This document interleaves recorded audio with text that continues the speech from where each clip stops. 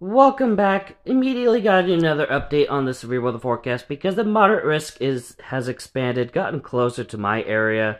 Might even include my area as we get later on in the day.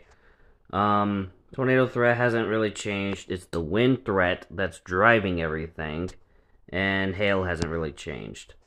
Um, but yeah, this is the situation going on now.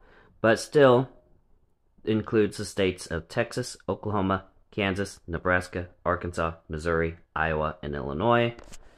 Um, day two, the same with Missouri, Illinois, Indiana, Kentucky, the Virginias, and Ohio.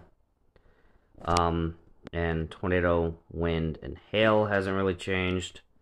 Um, day three, no changes, and then the four to eight day hasn't really changed. We still got the monsters for day five and six.